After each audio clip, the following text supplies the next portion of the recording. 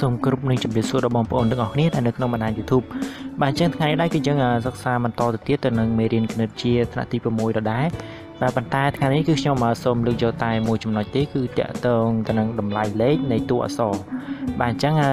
វីដេអូសាមុនគឺខ្ញុំបានលម្អិតទៅនឹងវិធីបូកដកតួអក្សរហើយខ្ញុំប្រាប់បងប្អូនរួចមកហើយគឺថាតួអក្សរនីមួយៗគឺវាមានសិតតែមានតម្លៃលេខបាទ ចឹងថ្ងៃនេះដែរគឺយើងនឹងសិក្សាថាតើយើងរកតម្លៃលេខនៃតួអក្សរនីមួយៗហ្នឹងយើងរកដោយរបៀបណាបាទអញ្ចឹងឥឡូវជាដំបូងសូមបងប្អូនពិនិត្យទៅលើនិយមន័យមួយសិនបាទអញ្ចឹងនិយមន័យនេះគឺខ្ញុំដកស្រង់មកពីសភៅគណិតជាថ្នាក់ទី6ទេ បាទគឺគេសរសេរថាបើយើងបូកដកគុណឬមួយក៏ចែកអង្គទាំងពីរ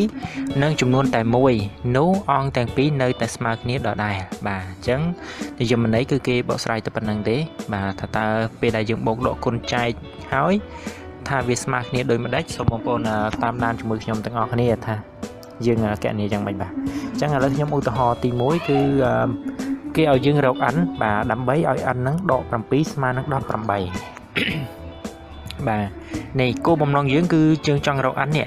ថាតើ n យើងហ្នឹងគឺមានតម្លៃស្មើនឹងប្រមាណបាទបើសិនជា n យើងនេះដកជាមួយនឹង7ទៅគឺវាមានចំនួនស្មើនឹង18បាទអញ្ចឹងបើសិនជាបងប្អូនគិតមកផ្លែតគឺបងប្អូនប្រកាសជាដឹងហើយ ថា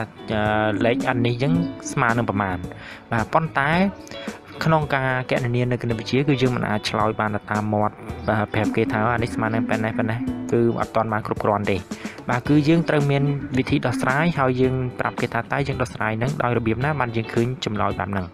បាទអញ្ចឹងបងប្អូនពិនិត្យទៅលើសញ្ញានេះបាទអញ្ចឹងសញ្ញានេះគឺសញ្ញាដកអញ្ចឹង ពេលដែលបងប្អូនកណនាជាមួយនឹងការដកហ្នឹងគឺផ្ទុយគ្នា បាទមានន័យថាបើ n ដក7ស្មើ18គឺបងប្អូនផ្ទុយគ្នាគឺយើងត្រូវយកចំនួនទាំងពីរមកបូកបញ្ចូលគ្នាវិញតែម្ដងបាទអញ្ចឹងគឺដកផ្ទុយនឹងបូកអញ្ចឹងនេះគឺយើងត្រូវយកអាចម្លើយយើង18នេះគឺយើងទៅបូកជាមួយនឹង7នេះនោះយើងនឹងឃើញចម្លើយ n នេះហើយបាទអញ្ចឹងនេះ n យើងគឺស្មើនឹង18បូកជាមួយនឹង7បាទអញ្ចឹងចម្លើយយើងគឺស្មើនឹង25បាទនេះអញ្ចឹង n យើងគឺស្មើនឹង25បាទមិនជឿបងប្អូនអាចយក25ដកជាមួយនឹង7ទៅគឺស្មើនឹង18ហើយបាទអញ្ចឹងនេះគឺវិធីសាស្ត្រនៃការដកលេខនេះបាទអញ្ចឹងដូចនេះ n យើងគឺស្មើនឹង25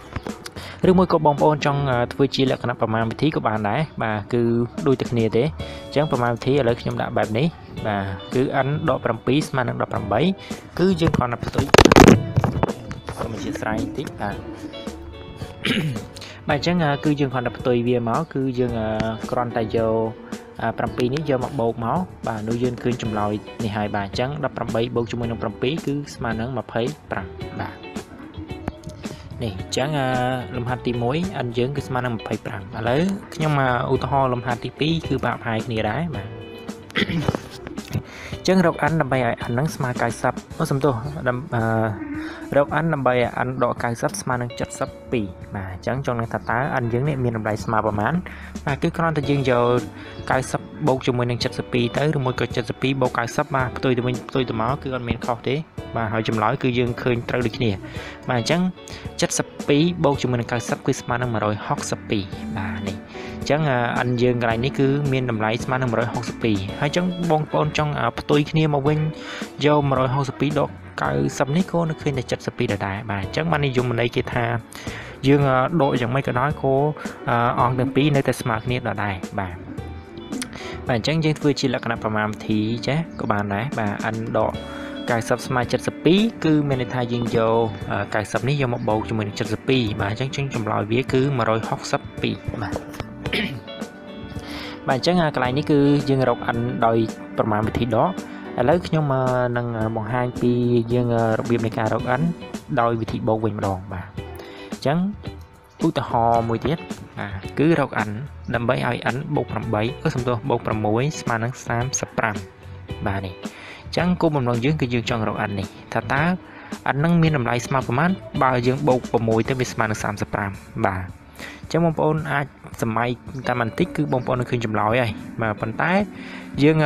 មិនគិតថាសម័យសម័យទេគឺយើងត្រូវមានវិធីដោះស្រាយបាទគឺយើងផ្ទុយគ្នា បាទក្រៃនេះគឺនិមិត្តសញ្ញាវាបូក អញ្ចឹងបើសិនជានិមិត្តសញ្ញាបូក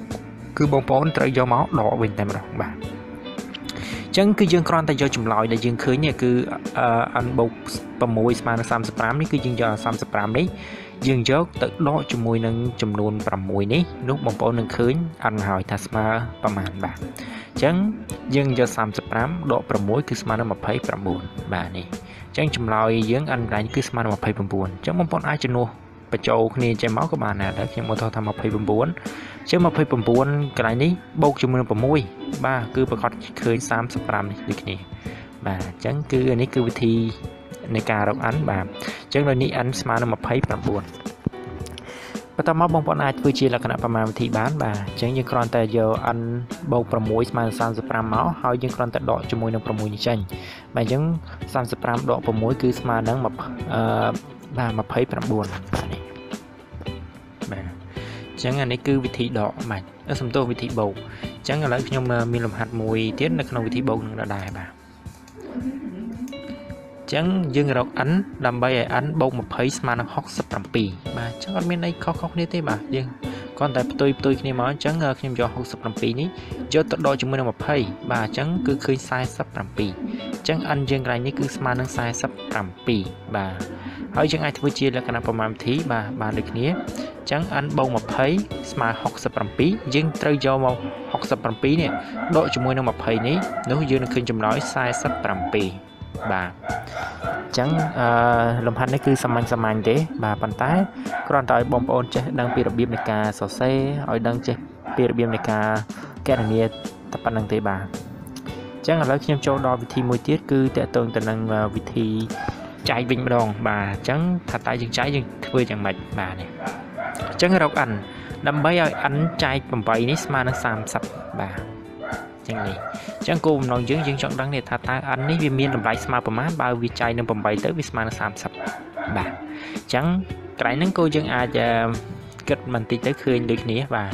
ប៉ុន្តែខ្ញុំសូមបង្ហាញប្រាប់បងប្អូនឲ្យយើងគិតលឿនបាទអញ្ចឹងមិញបូកផ្ទុយនឹងដកដកផ្ទុយនឹងបូកអញ្ចឹងកន្លែងនេះដូចគ្នា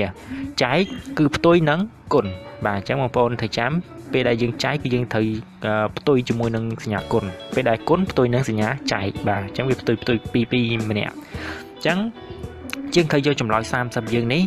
យើងអាចយកទៅគុណជាមួយនឹង8នេះបាទនោះយើងនឹងឃើញ n នេះថាស្មើនឹងតម្លៃប្រមាណហើយបាទអញ្ចឹងយើងយកមក30យើងយកទៅគុណជាមួយនឹង8ទៅបាទនោះចម្លើយយើងគឺឃើញ240 ចឹង n កន្លែងនេះគឺវាមានតម្លៃនឹង240បាទបាទដូចនេះ n យើងគឺស្មើនឹង240ហើយបងប្អូនអាចធ្វើការសាកល្បងបានយើងយក240ចែក8ទៅបាទគឺប្រកាសឃើញ30ទៅតែបាទអញ្ចឹងចម្លើយហ្នឹងគឺត្រឹមត្រូវហើយហើយយើងអាចធ្វើជាលក្ខណៈវិធីប្រមាណវិធីបានបាទអញ្ចឹងគ្រាន់តែបងប្អូនសរសេរមកបាទ n ចែកនឹង8ស្មើ30បន្ទាប់មកគោលបំណងយើងយើងចង់រក n នេះបាទអញ្ចឹងគឺយើងត្រូវយកទៅគុណជាមួយនឹង30ហើយយើងផ្ដាច់មកបាទគឺ30គុណជាមួយនឹង8អញ្ចឹងគឺចម្លើយយើងគឺស្មើនឹង240បាទអញ្ចឹងស្រួលស្រួលទេបាទឲ្យតែបងប្អូនដឹងពីកលឹះរបស់វាទៅហើយដឹងពីរបៀបនៃការសរសេរគឺអាចប្រើប្រាស់បានហើយបាទអញ្ចឹងឥឡូវឧទាហរណ៍មួយទៀតតើតឹងទៅនឹងវិធីចែកនឹងដដែលបាទ បាទសូមអធិស្ឋានផងដូចយ៉ាងនេះបន្តិចបាទអូខ្ញុំបានដាក់នេះបាទអញ្ចឹងសូមបញ្ចេញចម្លើយតែម្ដងបាទអញ្ចឹងនេះឥឡូវឧទាហរណ៍ថាកន្លែងនេះគឺ n ស្មើបាទសំទោសរក n ដើម្បីឲ្យ n ចែកនឹង7ស្មើនឹង88បាទអញ្ចឹងគោលបំណងយើងគឺយើងរក n កន្លែងនេះបាទថាតើ n យើងស្មើប្រមាណបើយើងចែក7ទៅគឺឃើញ88 បាទអញ្ចឹងគឺបងប្អូនត្រូវយក88យើងនេះយកទៅគុណជាមួយនឹងលេខ7នេះ បាទនោះបងប្អូននឹងឃើញចម្លើយហើយបាទអញ្ចឹងអឺ88បាទគឺយើងគុណជាមួយនឹង7គឺស្មើនឹង616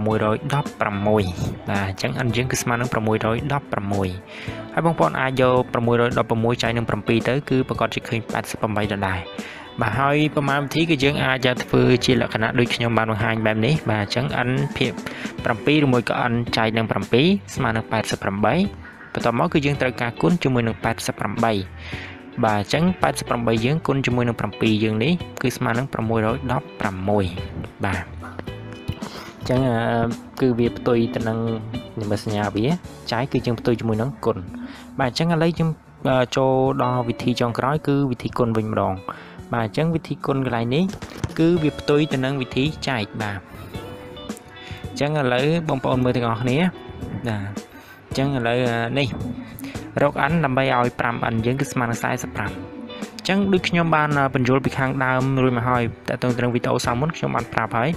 បើសិនជានិមិត្តសញ្ញាបូកដកគុណគឺយើងសរសេរបើសំទោបូកដកចែកគឺយើងសរសេរប៉ុន្តែពេលដែលនិមិត្តសញ្ញាប៉ះ អឺលេខប៉ះជាមួយនឹងតួអក្សរបាទគឺយើងអត់សរសេរទេបើសញ្ញាគុណបាទអញ្ចឹងដូចជា 5n កន្លែងនេះជាដើមអញ្ចឹងពេលដែល 5n គឺមានន័យថាយើងយក5នេះគុណជាមួយនឹង n បាទប៉ុន្តែបើសិនជានិមិត្តសញ្ញាបូកដកហើយនឹងចែកគឺយើងសរសេរឲ្យដាច់ដាច់ពីគ្នាប៉ុន្តែពេលដល់សញ្ញាគុណគឺយើងអត់សរសេរគុណទេបាទអញ្ចឹងយើងឃើញដូចជា 5n 5n នេះគឺមានថា5គុណជាមួយនឹង n កន្លែងនេះគឺសញ្ញាគុណហើយប៉ុន្តែគេអត់សរសេរទេ អញ្ចឹងចង់ដឹងថាតើ5គុណជាមួយនឹង n ហ្នឹងស្មើ45រួចចុះ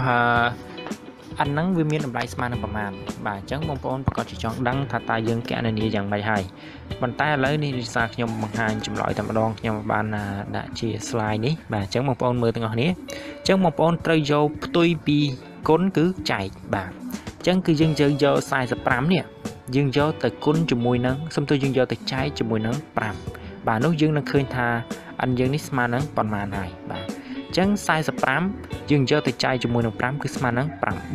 បាទនេះអញ្ចឹង n យើងកន្លែងនេះគឺស្មើនឹង9បាទតម្លៃវាគឺស្មើនឹង9បាទនេះអញ្ចឹងបងប្អូនអាចយកទៅគុណមើល9 5ដងគឺ45ដដែលបាទអញ្ចឹងគឺសាមញ្ញសាមញ្ញទេហើយបងប្អូនអាចធ្វើជាលក្ខណៈប្រមាណវិធីគឺសេបែបនេះបានបាទអញ្ចឹង 5n ស្មើ45យើងនេះគឺ 5n គឺយើងអាចយក45ចែកជាមួយនឹង5បាទអញ្ចឹងអានេះគឺវាចែកហើយចម្លើយវាគឺ9ដដែលបាទអញ្ចឹងគឺខ្លីៗទេបាទអញ្ចឹងលំហាត់មួយទៀតចុងក្រោយបាទនេះអញ្ចឹងរក n ដើម្បីឲ្យ 25n ស្មើនឹង75បាទអញ្ចឹងគោលបំណងយើងយើងចង់នឹងថាតើ25នេះគុណជាមួយនឹងប្រមាណបានស្មើនឹង75បាទពីព្រោះកន្លែង n យើងនេះគឺវាមានតម្លៃដែរអញ្ចឹងគឺយើងដាក់ n ខាងមុខមកដើម្បីយើងរកបាទអញ្ចឹងយើងយក75យើងនេះយកមកចែកជាមួយនឹង25បាទអញ្ចឹង75យើងចែកជាមួយនឹង25គឺស្មើនឹង3បាទអ